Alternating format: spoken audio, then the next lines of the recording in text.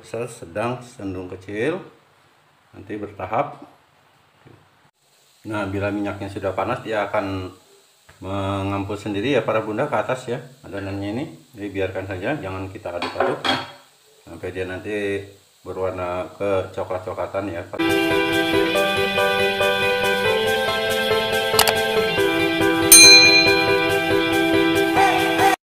Assalamualaikum warahmatullahi taala wabarakatuh. Salam jumpa kembali buat para bunda, sahabat putri serta teman-teman semua di seluruh tanah air.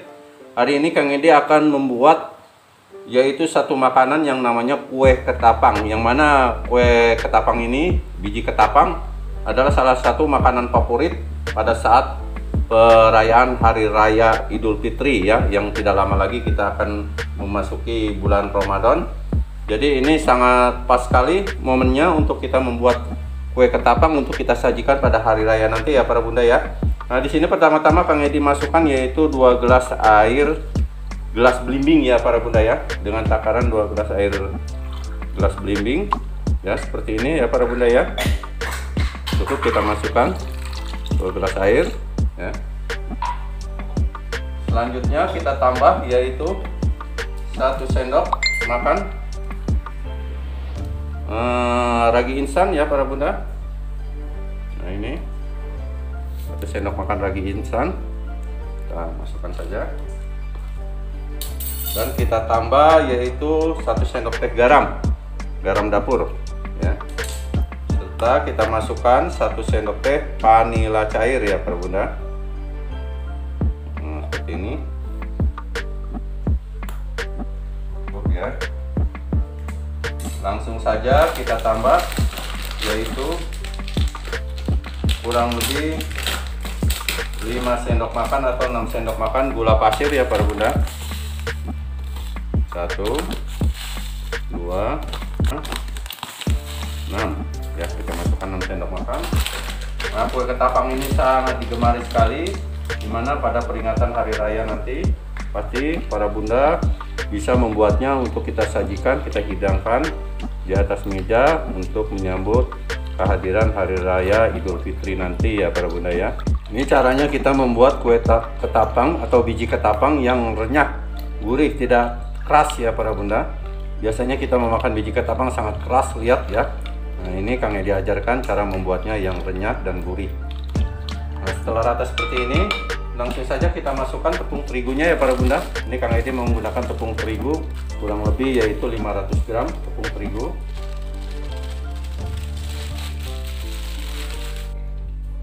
Kita aduk langsung. Tidak usah menunggu raginya mengembang sama saja ya bunda ya.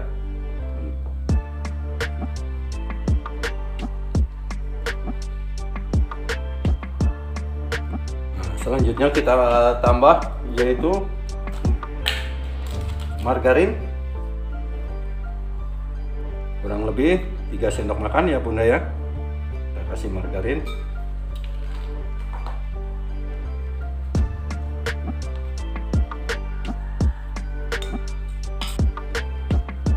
Ini kembali. Langsung saja Bang Edi pakai tangan.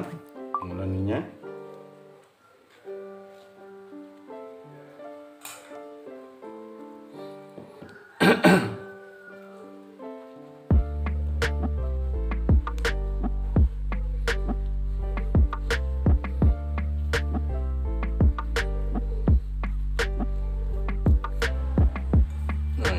setelah dia seperti ini ya bunda. Sudah agak kalis seperti ini ya seperti bunda lihat ya. Nah ini ini kita istirahatkan dulu untuk beberapa saat ya. Cukup kita tutup saja. Tunggu sampai dia agak mengembang ya para bunda. Nah para bunda dan sahabat semua setelah kita istirahatkan beberapa saat ya. Nah ini dia sudah mulai mengembang ya adonannya ini. Dia sudah mengembang dua kali lipat ya dari pertama tadi. Ini. Sekarang kita siapkan yaitu meja alas kerjanya ya para bunda ya. Nah, ini kita taruh di alas kerja kita. Kita kasih sedikit ya kayak ini lengket nah ini sudah mulai lentur dia adonannya ya bunda ya. Sudah mulai lentur sekali. Ya. Kita ulangi dulu lagi beberapa saat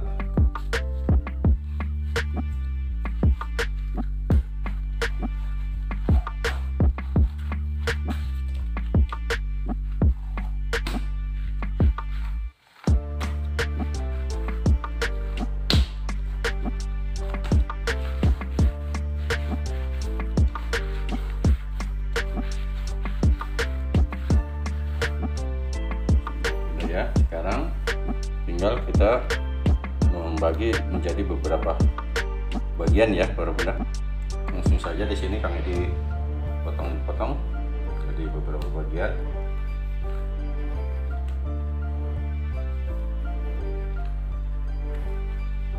Kita buat ya beberapa bulatan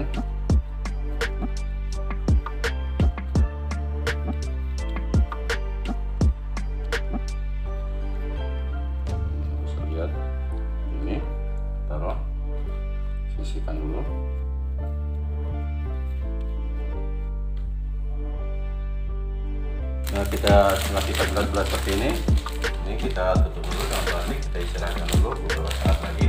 Udah ya.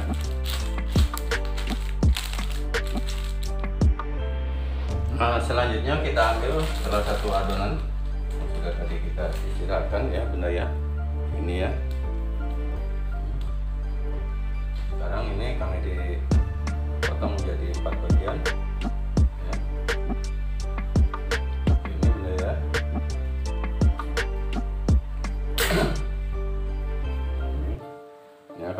langsung giling-giling aja seperti ini.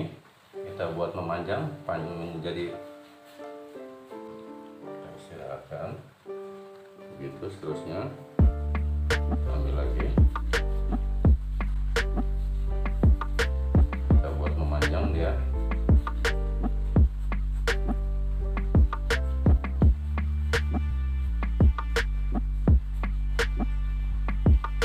Sesuaikan saja keinginan besarnya bunda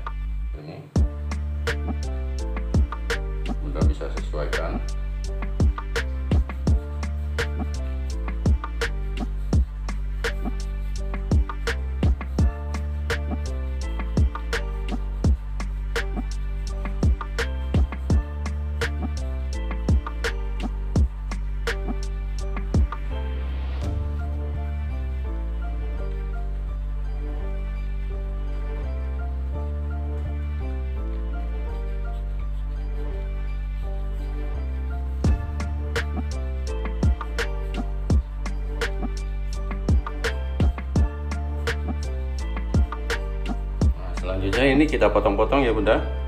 Tapi sebelum kita potong-potong ini kita siapkan dulu apa wajan dengan minyaknya ya bunda.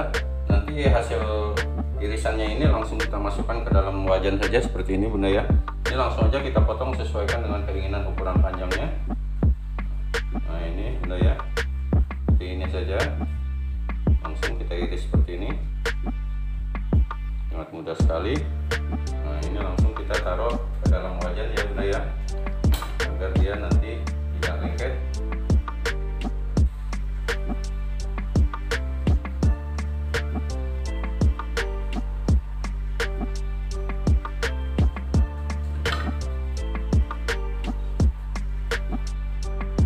Nah selanjutnya bila sudah penuh terisi seperti ini ya para bunda Ini usahakan agar semuanya terendam dengan minyak ya para bunda ya Untuk adonannya ini Ya semua terendam dengan minyak seperti ini.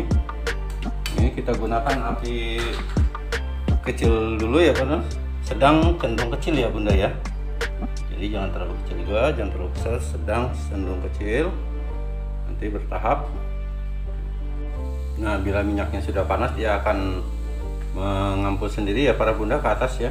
Adonannya ini. Jadi biarkan saja, jangan kita aduk-aduk. Sampai dia nanti berwarna ke coklat-coklatan ya para bunda ya. Ini semua dia naik ke atas, tandanya dia udah mulai panas minyaknya. Cukup dengan api kecil saja ya para bunda. Nah, para bunda dan sahabat putri serta teman-teman seluruh tanah air, ini hasil akhir ya kita membuat biji ketapang yang sangat renyah dan gurih. Semoga para bunda dapat mengikuti cara memasak atau membuat biji ketapang yang gurih dan renyah ya. Jadi ini tidak keras ya para bunda ya. Bisa kita coba ya ini ya. Hmm, sangat sangat renyah sekali. Jadi tidak ada tidak keras dan tidak lihat. Walaupun meskipun nantinya sudah dingin, dia akan enak dimakan dan gurih rasanya. Semoga Kang Edi doakan para bunda dan sahabat putri semua yang mengikuti acara memasaknya Kang Edi dari awal hingga akhir. Kang Edi doakan semuanya dalam keadaan sehat walafiat dan selalu dilancarkan rezekinya. Jangan lupa bantu channelnya Kang Edi Putra Banten dengan cara menekan tombol subscribe-nya terlebih dahulu dan di like serta di share atau bagikan kepada kerabat teman handai tolan sebanyak-banyaknya. Jangan lupa tulis komentarnya di kolom komentar channelnya Kang Edi Putra Banten. Kang Edi ucapkan banyak terima kasih. Akhirul kalam. Wassalamualaikum warahmatullahi taala wabarakatuh. Sampai jumpa kembali pada tayangan Kang Edi yang berikutnya.